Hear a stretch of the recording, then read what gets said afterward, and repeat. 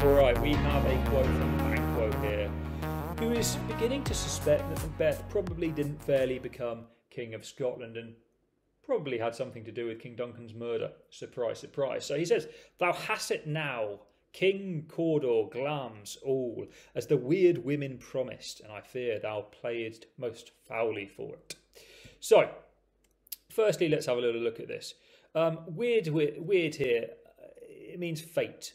He's saying the witches know the future that's been set out for us and are able to predict it. So Banquo is now starting to put two and two together. Because what the witches did was promise that he would become king, didn't he? He was ordered Thane of Glamis. He read, became Thane of Cawdor very quickly. He then became king. So Banquo repeats the prophecies of the witches here and notes that Macbeth has become them all.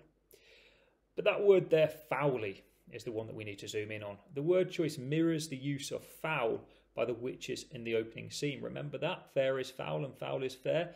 Well, the witches use that word, and Banquo is expecting that Macbeth played most foully to become King of Scotland.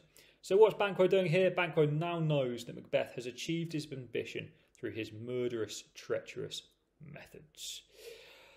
A little bit in the context boxed about fate there, zooming in on that word weird for weird women. Um, and there's also obviously some link quotations there about the prophecies to do with Macbeth.